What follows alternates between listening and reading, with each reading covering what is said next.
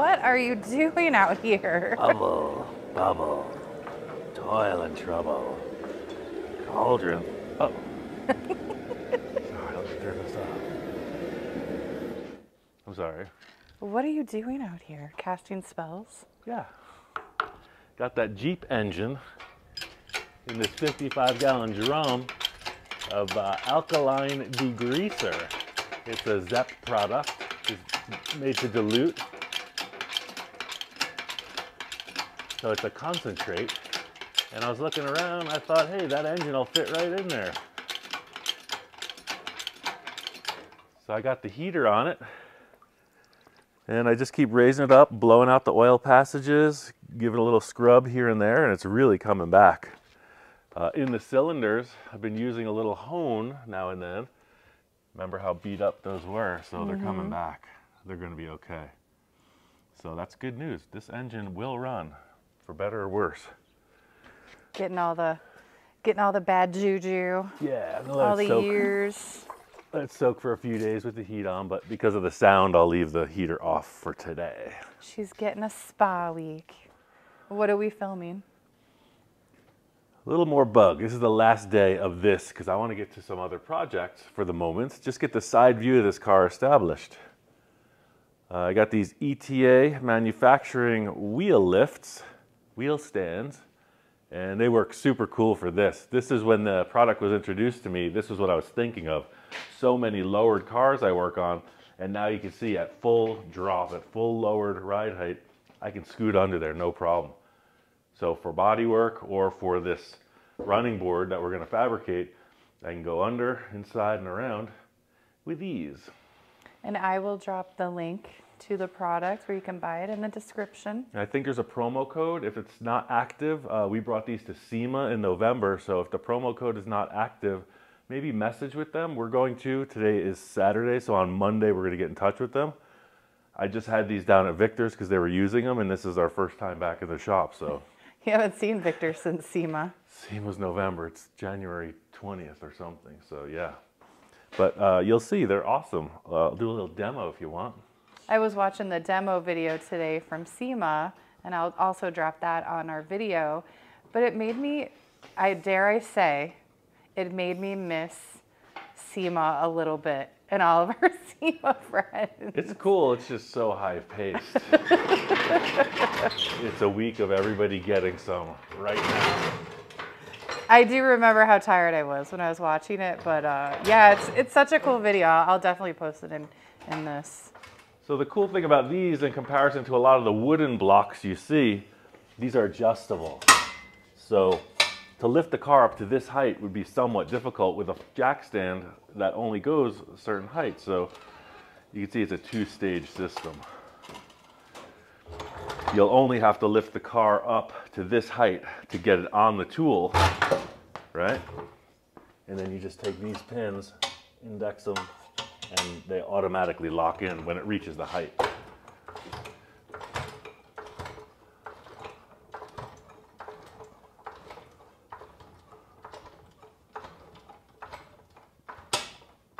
Like so. Then you drop it.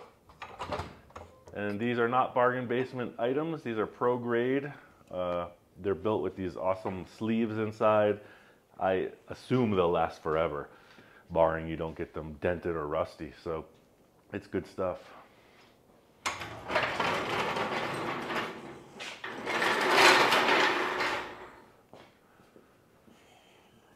So a lot of people ask about, hey, are you going to finish that running board? Yeah, of course, but we don't have fiberglass, so we're going to make them out of steel.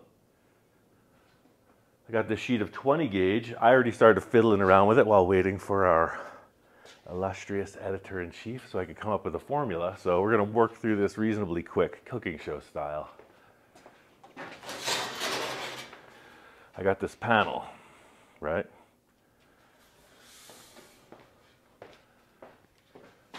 See how it's got this detail here? I love this. I don't want to lose that through the entirety. So this line is going to come through and turn up onto this rear fender. You can see how I made that out of steel. Camera getting that little bead. Yes. Okay, so we got two different radius of bends. This one you can see is very tight, and this one's a little bit rounder. and then we have the detail of the body line. So let's get into how all that happens. TV magic? A little bit. This part is, but now we're actually going to build it. 20 gauge sheet. Um, I took the good piece out of it. It's a little dented. This thing uh, in our windstorm took a took a tour around the property, so you can see it's pretty smashed up. Oops. It was stored in the breezeway over there, and uh, yeah, the gusting gust took it. It's laying out there somewhere, rusting. So forgive the little bit of dirt. Gonna put a hem edge, but I'm not gonna close it. Uh, on the last piece of the fender, I made the hem and I closed it, but this is gonna be even a little bit stronger because it is a running board. I'm going to have to step on it to get in the car. So there'll be a structure below it. And I want that to stay really strong. That's gonna be a one half inch hem. Chuck this in the sheet metal brake and begin. All right, what I always do with this brake it's not perfect. It's not perfectly straight. So I just center myself and the material on it. And I know from habit that this lip here is just about 5 eighths. So I want a half inch hem. And I'm just eyeballing it because it's not important. It's under the car, as long as it's even. Shut that. And uh, I'm going to close this pan all the way to this angle. And that's where we're going to finish. Nice push right into it.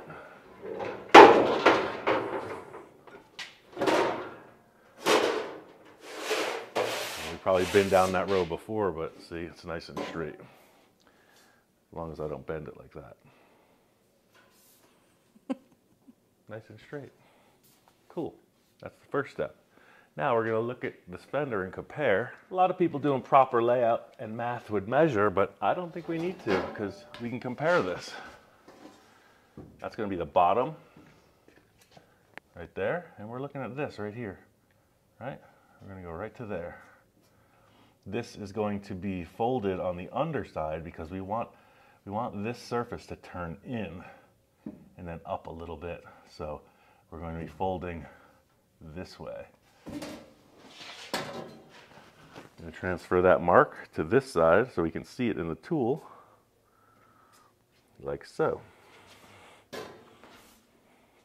I'm to measure that mark from the outside edge, and it is just under one inch. So we're going to come over here, push this in to just under one inch. And I mean, not even a sixteenth, a smidge. Yeah. I'm to take this and just hit it. I don't know, about maybe that much. Just enough to put a little line in it.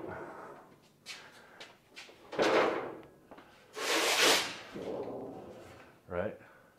Nice this defined line. I'm gonna put it back in. See, I flipped it. I bent it this way up. Now I'm gonna put it back in. Bring it just to the other side. See the mark? That was the mark I made. So we want to have a little bit of a radius bend, so I'm pulling it just to the top side of that mark. Duplicate that here. Again, just by eyeball. You can look right down and that gap looks even. It's even. I'm gonna kick it. See, this is bending down a little bit. I want it just about horizontal. See what I was saying about the tool? This side did come out the same. Look, see how up this is? That's the challenge with these old tools. You gotta know them. So it's gonna be easier for me to push that side down than lift this one up. So I'm gonna use the tool to raise this one to where it needs to be. And just set that down a little bit by hand.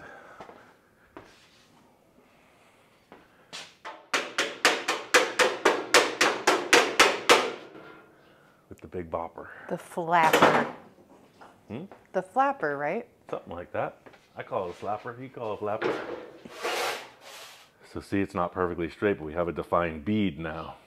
So I'm gonna want to flatten this area where it's imperfect. And put it back in here. I'm gonna set it all the way back in. Give it a little action.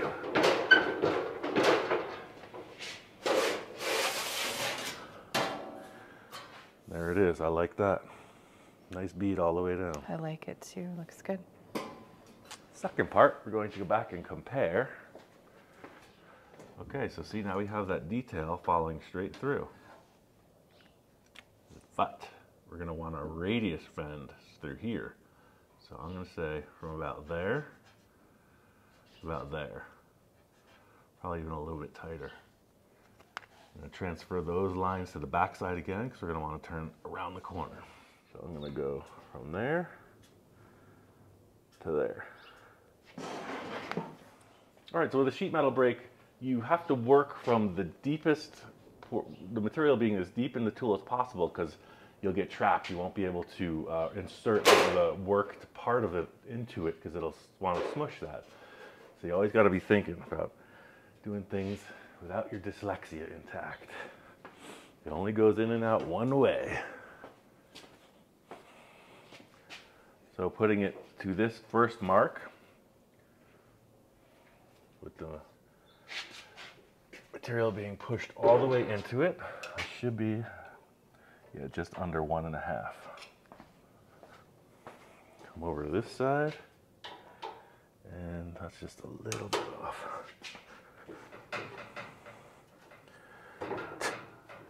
My friend Cassidy, who I haven't seen in years, used to work in the shop when we were just starting out, and he'll tell you the story about this tool. Hey, Cassidy. There used to be a handle on here like the other side. It's on these wheels.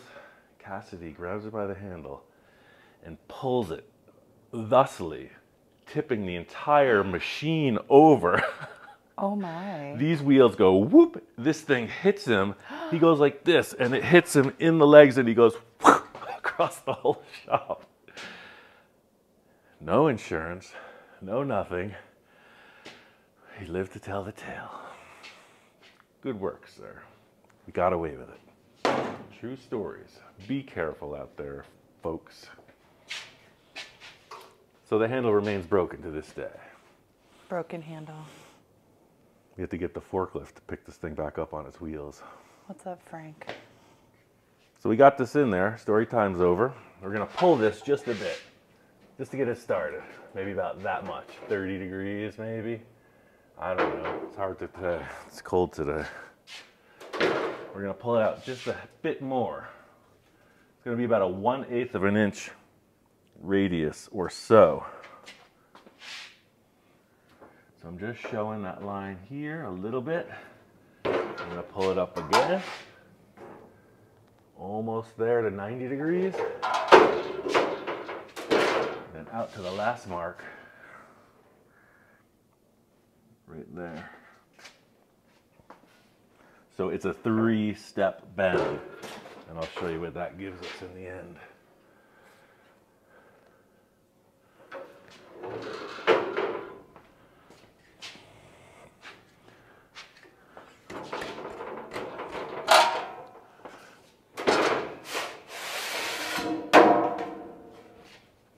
Us a nice rounder radius. It's not as tight as the other one on the lower end. So now we have this really large blanked out piece that matches the detail on that fender. And we do have a definite left and right side. So I'll show you now where I ended up with the first piece. This is going to be the passenger side, so it's going to be flipped and oriented over there. Ah. This is the driver's side that I started on, that I was just showing. Now we're in the game. The side of the bug isn't flat. It's got a, it's got a curve that comes out like that. Whereas the sheet metal brake and the end of the running board will be straight, flat. So what I did was I just laid this up on top and I traced. I just I just traced right around and I already did a cut. Can see the curve starting to come in already. The fitment. Right, it's getting close. Next, I'm gonna cut out for this fender. So I just traced it.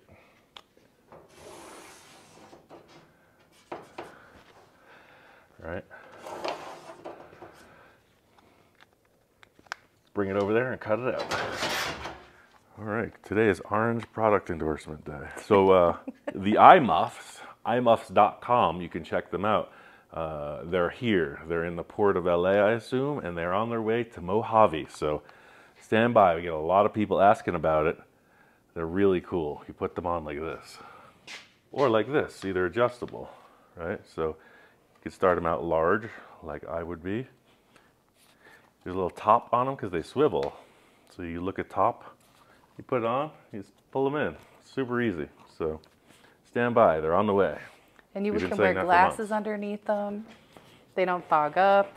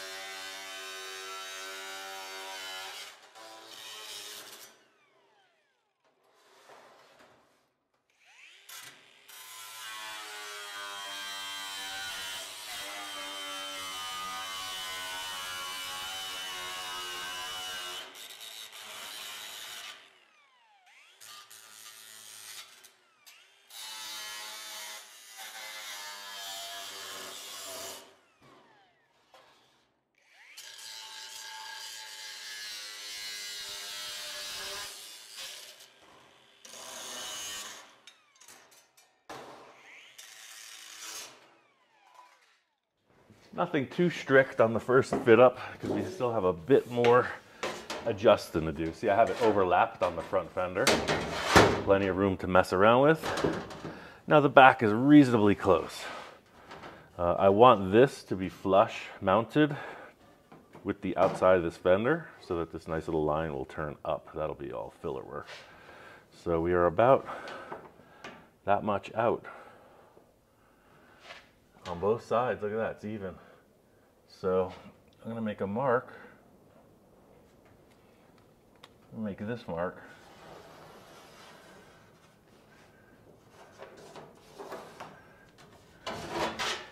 Right?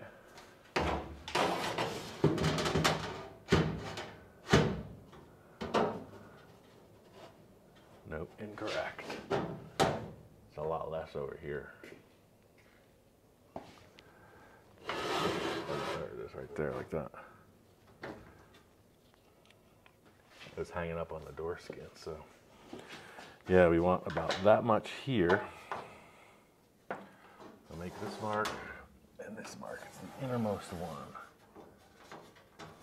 All right, so that's our gauge on the outside of the body. Just close this actually and just keep that even. Right there. So here we only need to come in about 3 eighths of an inch, but here looks like a good inch, inch and a half. Guesstimation. One and three eighths, so yeah. Cool. So from there, we want to come in one and three eighths. Oh, that's right there. And then here, we only want to come in three eighths. That's where this weird little uh, line system is interesting. This is the apex of it. So I'm going to follow this pretty much to there.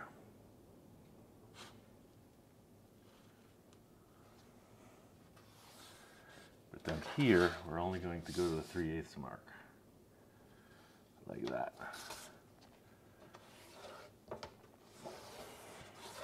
And this I'm going to cut in the Beverly shear because I got straight lines. You might be wondering which line I'm going to follow. You have quite a few there. Well, they're all reference points, but I'm looking at the exact straight ones, not the curved ones. And once you start on a line, it's not really difficult to get confused. You just follow the one you're following. Get to the high point, or the apex of that. And we're going up 3 eighths on the straight shot right there. Yeah, that one comes right in.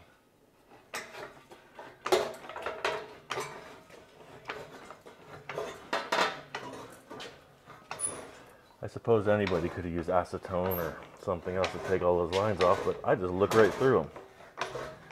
You had to transfer this work to another person, they would be lost in the process. Not this guy.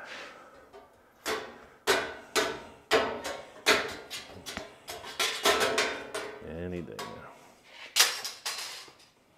now. Yeah, see? There it is. Cool. I like it. I like it. I think it looks amazing. I'm pretty stoked. Yeah, it like wow.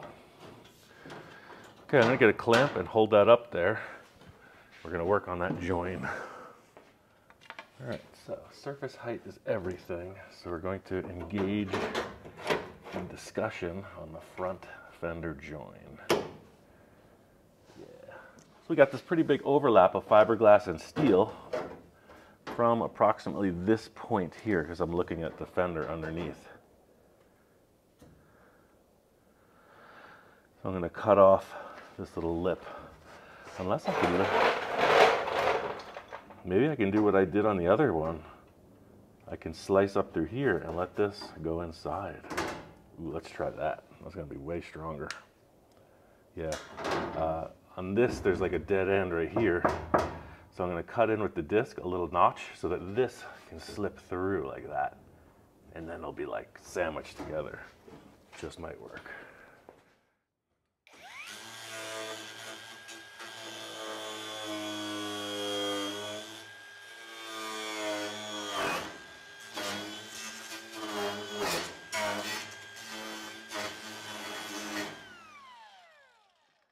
And the material is only 20 gauge, but through the bottom here, we're gonna need a little clearance in this just to get through. See, just about that much. So the thickness of that steel doesn't bring it lower.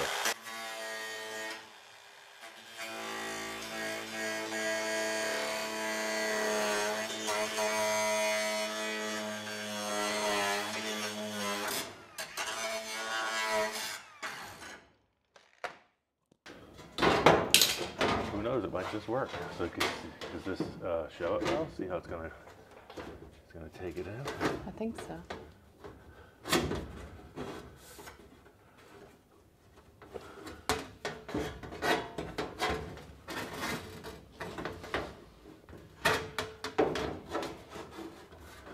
No, I can't get it up in there.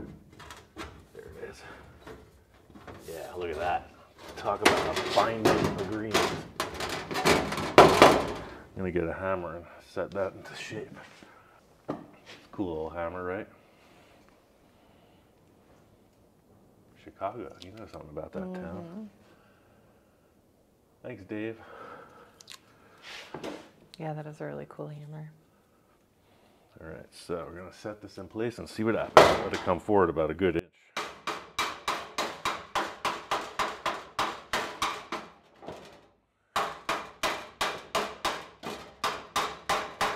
Going or no?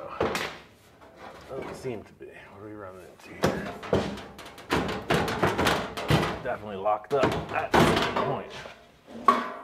Oh. Would help if I cut through the material. Excuse me. That might help out.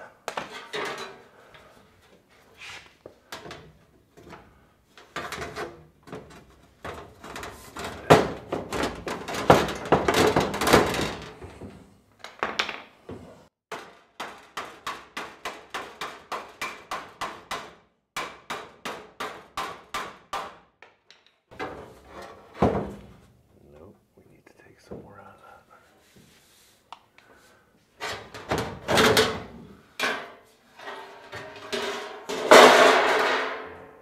It's pretty thick inside. That's what's giving us the stress.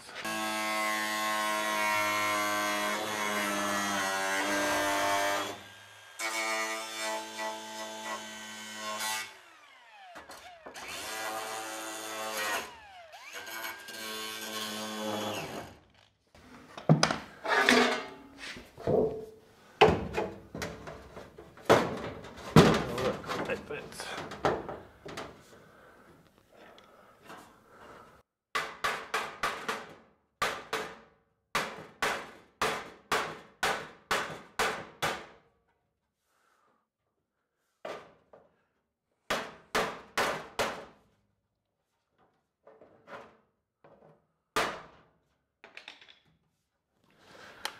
All right, so just gonna need a little massaging right through here. Uh, I don't mind if this is very straight up, like it transforms the line a bit, but we do need it to match. This is a lot more rolled out through here. So this fiberglass is actually a great buck to hammer to. I'm gonna get another clamp, I'm gonna grab this and just start this into a little bit of change that matches with the front fender. All right, so we have the fiberglass underneath to about here. Right about here, the fender goes in. So I'm gonna start just around this area. And I don't wanna put a tool mark on the steel. So I'm gonna bridge that whole area with this big flat bar. So I don't just punk, uh, pucker it with the squeeze on this.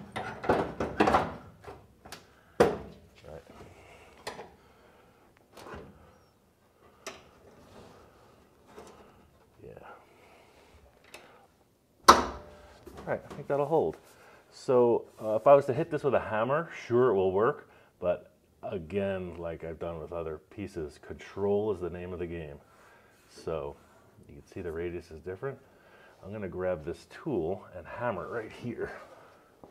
So I've used this before. Uh, I think it's like a brick set or something. I don't even really know, but you see it's a chisel kind of thing. But it works great because you have this defined line, right? So I can just put it right here and hit it with a hammer without hitting the phone. You mean my professional movie camera? Yeah. So I'm just gonna set that right in here, give it a wallop. What that's doing is you don't have a hammer mark. This is pushing it. See?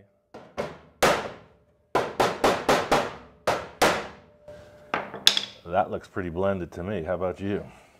Take a little shot to bring this back up close. Close that gap a little bit. Then I'm going to squeeze this with a big pair of crimps. This is a little bit high right here. Uh, this amount of filler to make these two come together, I'm not even concerned with that. We're going to panel bond it and rivet it because we have about that much grab of fiberglass. Right now, I'm just in the forming part of it.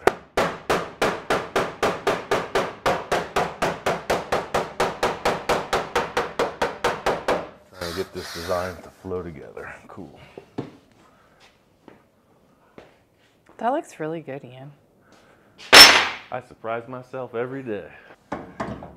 So we have the hem edge inside that was open, so now we're going to shut it slowly without denting the heck out of this.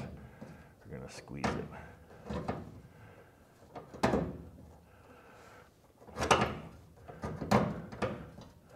All right, I like it. So if we could open this door, we would, but there's a whole story that's gonna happen there. I'm gonna put two temporary rivets here because this steel is going to stay with the car during the fabrication. The fender is going to detach for finish work, and so is this one. So I'm going to weld it along here to that. The door is a whole other operation. So uh, yeah, let's get into that. And then I'm going to make another fastener here out of sheet metal. Yeah, that's what I'm going to do. Let me sand this back, put a couple tacks in there, and then I'll get a couple rivets for there. I was gonna rivet it, but then I thought, you know what? If I rivet it, I'm gonna have to drill it out. So a couple self-tapper screws.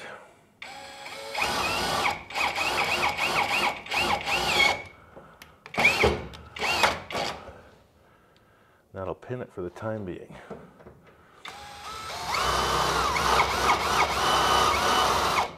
Okay, I'm gonna sand this real quick and then tack that in.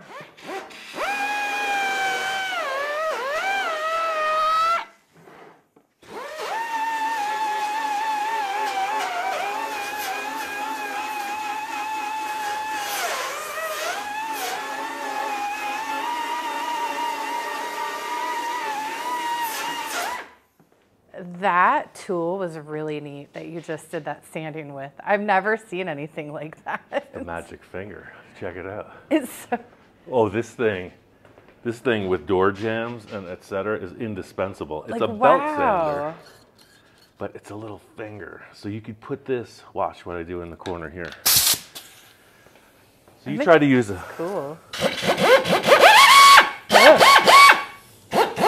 so uh, try to put a rotary sanding disc in there. Let's discuss. I'll even get the smallest one. This is something of your standard air sander in the smaller sizes. So watch what I could do in the corner with this. See, you're blocked out.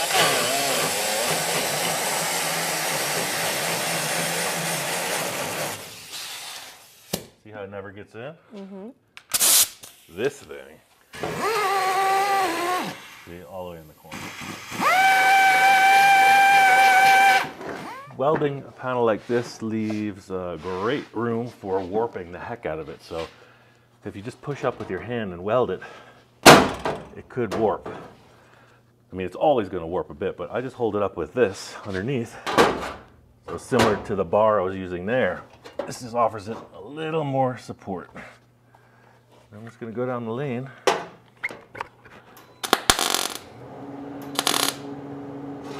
Not much heat. Don't want to warp it.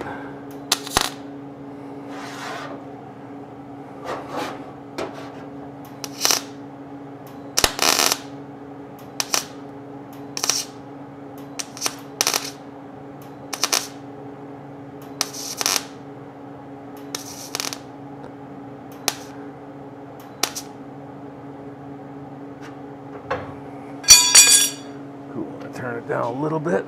Right now, everybody's concerned about how the door is gonna swing open. Is it gonna rub? It's gonna ruin the paint.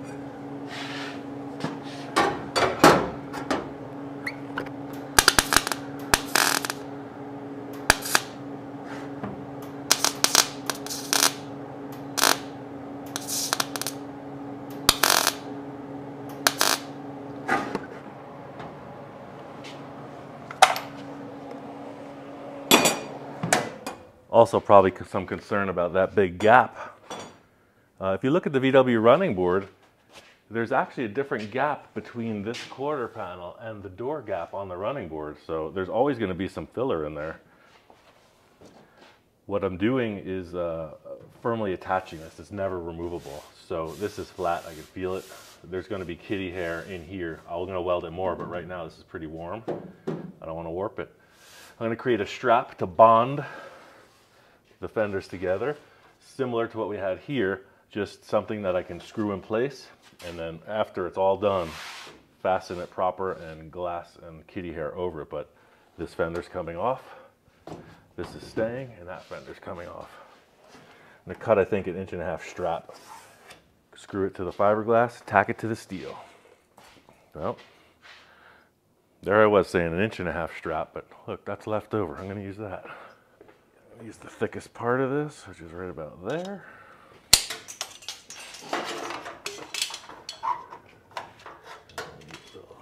Angle cut right there. Cool. I think bending right up there should be suitable.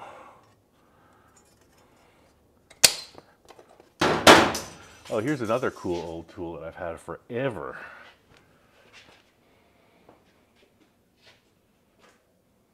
I stole these. Ian Roussel. I did. Somebody out there knows where this came from. Matt, ever seen these? ever seen that anvil, Matt? Greg DeStefano? Oh, Greg has passed. He'll never know where it went. It was a company a long time ago in a land far, far away. Oh, let me guess. In your time in uh, construction in New York? New York City. Uh, they weren't really uh, in action. This came from this came from the machine shop in Rockefeller Center. That's a hole punch? That thing is cool. Yeah. We do copper, a lot of copper work, and we would use use rivets that big, and we would lay out all these things, and we would just punch, punch, punch, and rivet everything together. Whitney Punch, Rockford, Illinois.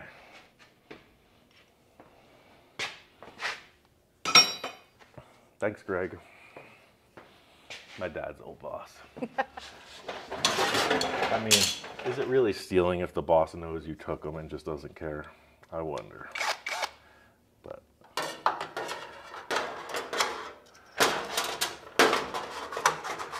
well, just going to do just about nothing, isn't it? Let's put it in there. Oh no, that did something. So see, this is straight, and see how it curves? Mm-hmm. That's what we're going to be able to remedy. Or is it the fiberglass?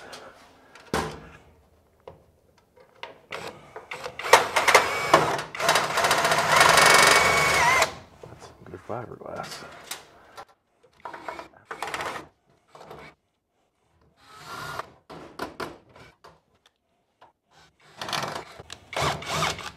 That looks like garbage. Not a perfect world. Never said it was.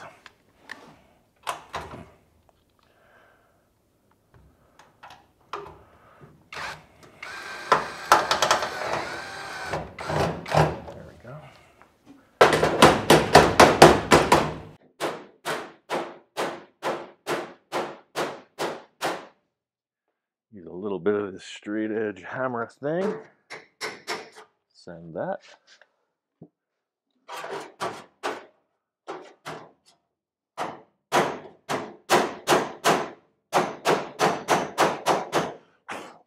Weld it up. People have asked what I wear when Ian is welding. And what do I wear, Ian? Over Sal's custom fabrication sweatshirt, Well, that and welding helmet. my very own special helmet.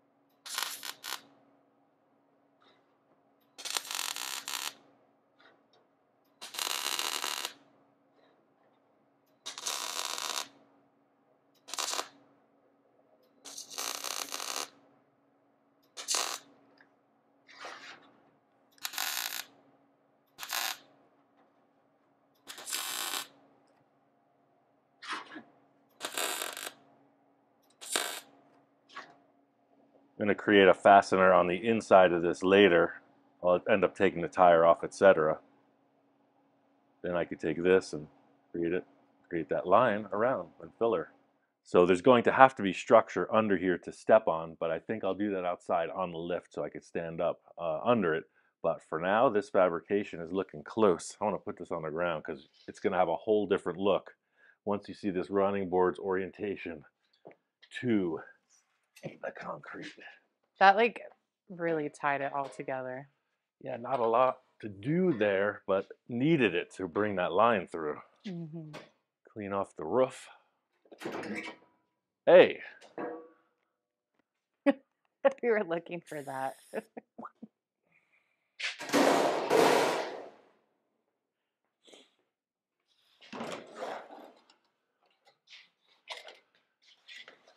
sometimes I get frustrated when Jamie's cooking with all the dishes in the sink. Meanwhile, I'm out here like this. Yeah. What? How did you? What did you think of that sink full of dishes I left you this morning? It is what it is. The meal was uh, fantastic. But that's just part of it. When I first started in my shop, I learned in the art foundry I worked at, we would clean up our tools every day, right? Because it was this every day, 10 people working. But over the years, I mean, look at that table. It's like a pallet. But this will take me an hour to clean up someday.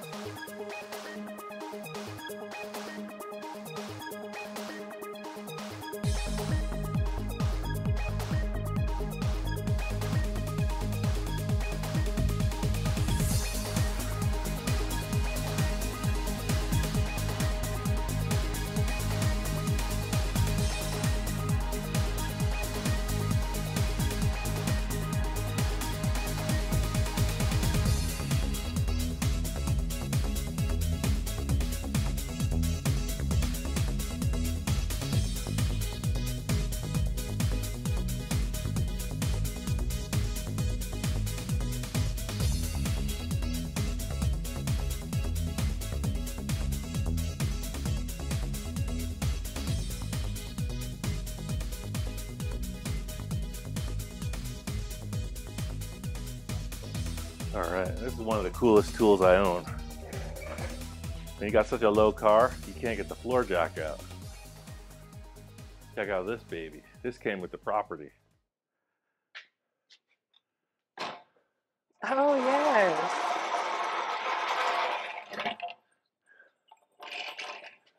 Ricola!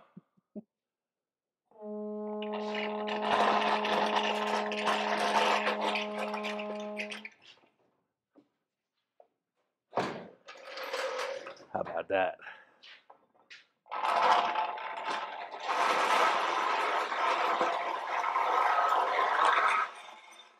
Let me roll that a little bit. It'll set down the back.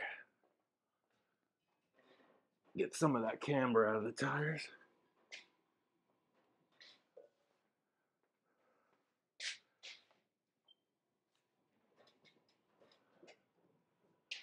Now look at that running board to the ground. Makes it look so much lower.